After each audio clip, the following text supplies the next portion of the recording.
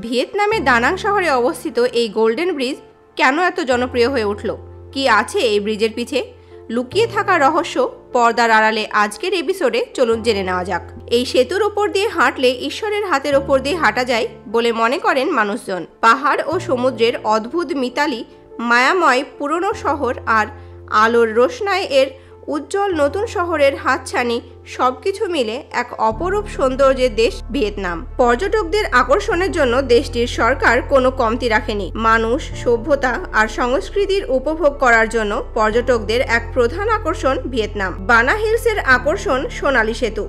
এই দৃষ্টিনন্দন সেতুটি ঘন পাহাড় জঙ্গলের মধ্যেই নির্মিত হয়েছে। চমৎকার এই স্থাপনটি সামাজিক মাধ্যমে বিশ্বের সবচেয়ে অদ্ভুত সেতু হিসেবে পরিচিত। সেতুর দুপাশ থেকে বিশালাকার দুটি হাত যেন সেতুটিকে আঁকড়ে ধরে আছে।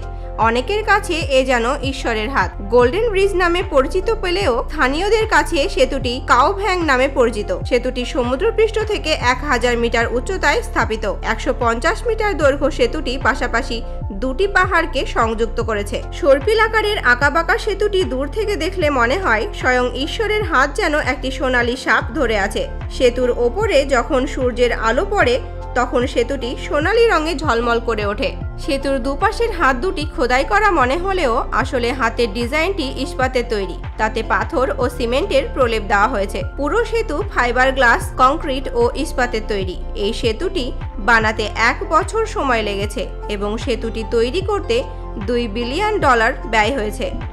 বন্ধুরা, আজকের সোনালী পর্বত ও ঈশ্বরের হাত নিয়ে এইটুকুই। আপনাদের কিছু জানাবার বা মতামত থাকলে আমাদের কমেন্ট করবেন। আমাদের চ্যানেলটি সাবস্ক্রাইব করে বেল আইকনে প্রেস করবেন। ভালো থাকবেন, সুস্থ থাকবেন।